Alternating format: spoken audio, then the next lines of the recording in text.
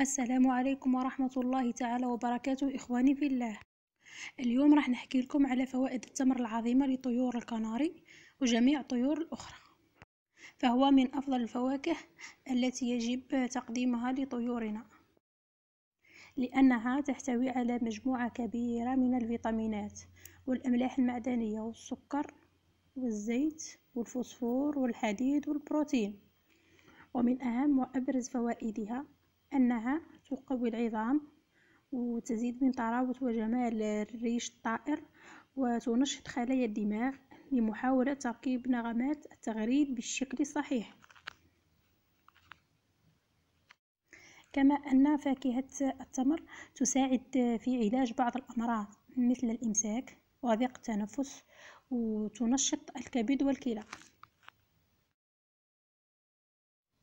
وبالنسبة لطريقة التقديم نقوم بوضع حبة تمر منزوعة النواة في معلفة الطائر ونقدمها مرة واحدة في الأسبوع على مدار السنة. أرجو أن تكونوا قد استفدتم ولو بالقليل.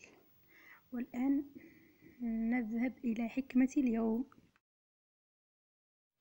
اجعل من يراك يتمنى أن يكون مثلك ومن يعرفك يدعو لك بالخير.